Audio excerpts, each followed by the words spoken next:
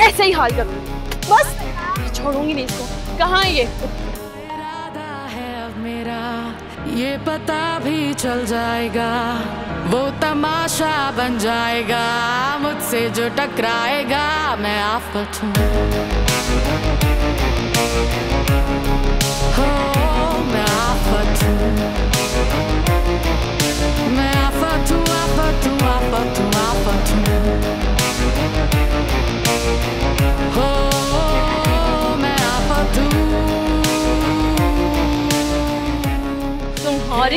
हिम्मत कैसे? हाँ? तुमने वरीशा को धोखा दिया? तुम्हें मैं छोड़ूँगी छोड़ूँगी? तुम्हारी जान ले लूँगी वरना मैं।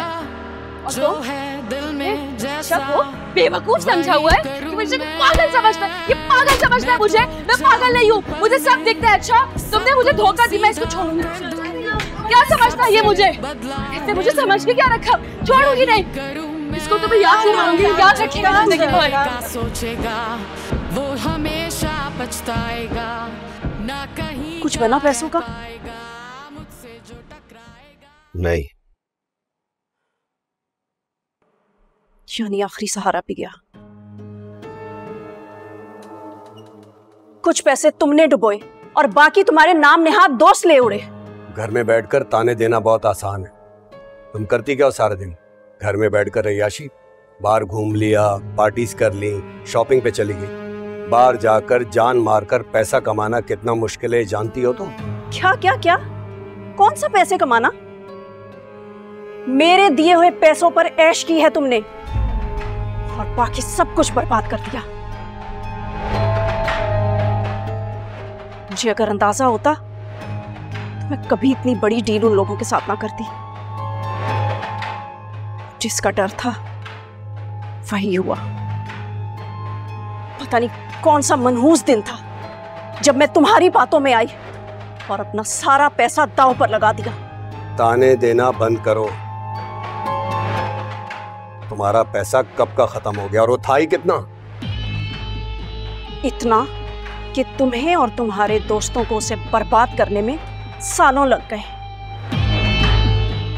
कारोबार में नफा नुकसान होता रहता है मैं कोई ना कोई रास्ता निकाल दूँगा। अगर तुम अपना मुँह बंद रखो और मुझे कुछ सोचने दो तो। हाँ हाँ सोचो सोचो। बड़ा कमाल का सोचोगे ना तुम।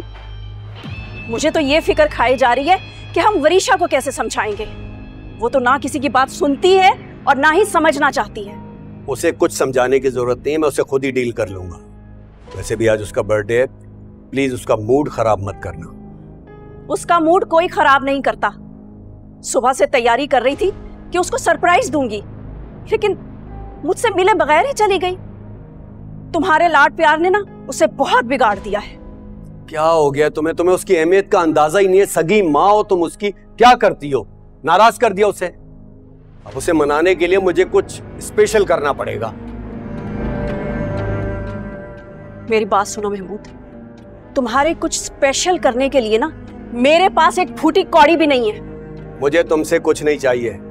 वैसे भी कौन सा तुम कानून का खजाना लेकर आई थी? मुख्तार अहमद ने चंद लाख रुपए तुम्हें देकर घर से निकाल दिया था। मैंने तुम्हें सहारा दिया। तुम्हारी बेटी को बाप बनकर पाला। अगर मैं तुम्हें सहारा न देता ना तो आज तुम और तुम्हारी बेटी इजहार अहमद के घर में मुलाजमा की सी ज़िंदगी गुजार रहे होते। बातें करना बहुत आसान है।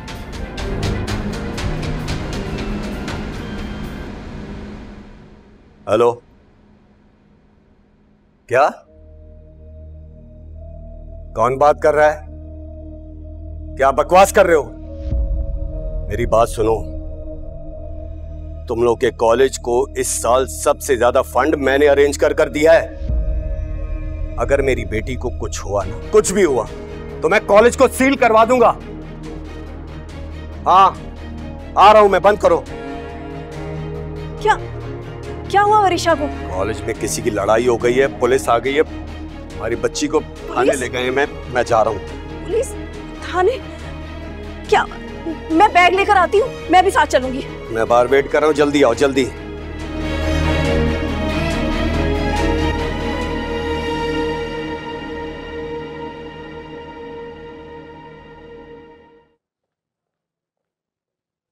अस्सलाम वालेकुम। वालेकुम अस्सलाम वाज तुम कब आए बेटा? मैं कल रात को आया कैसी हैं आप? मैं तो ठीक हूँ। मैं बीजान की तरफ़ गई थी। सबसे मुलाकात भी हुई। लेकिन किसी ने तुम्हारे आने का कोई ज़िक्र ही नहीं किया था। कैसे ज़िक्र करते उन्हें खुद नहीं पता था कि मैं आ रहा हूँ। तुम और तुम्हारे सरप्राइजेस लेकिन मुझे खुशी है कि तुम आ गए। शिफा कहाँ है? नज़र नहीं आ रही। शिफा ने कहा होना है अपनी वर्कशॉप में बिज़ी है। तुम्हें पता है उसके फाइनल सेमेस्टर्स हो रहे हैं। ऊपर से उसके ग्रुप ने अंडर प्रिविलेज स्टूडेंट्स के लिए कोई लर्निंग प्रोग्राम लॉन्च कर दिया है। इतने काम एक साथ कर रही है लड़की मैं तो परेशान हो जाती हूँ। जी जी मैं जानता हूँ। मुझसे शेयर किया था उसने ये सब। बहुत एक्साइटेड है वो। एक्साइटेड मेरी बेटी को ना ना दिन का होश है ना रात का ना खाने का ना पीने का। बुलाती हूँ मैं नहीं नहीं रुक जाइए। मैं शिफा को सरप्राइज़ देना चाह रहा हूँ। अगर आप चली जाएँगी तो सरप्राइज़ खराब हो जाएगा। आ, मैं जाता हूँ उससे बात करता हूँ। ठीक है लेकिन प्लीज़ तुम उसे समझाओ ना। इतनी जिम्मेदारियाँ उसने अपने ऊपर ले ली हैं। इतने काम करेगी तो बीमार हो जाएगी। आपको परेशान होने की ज़रूरत नहीं है। मैं आ गया हूँ अब सब ठीक हो जाएगा। बस अब एक अच्छी सी चाय पिलवा दे। मैं भिजवाती हूँ।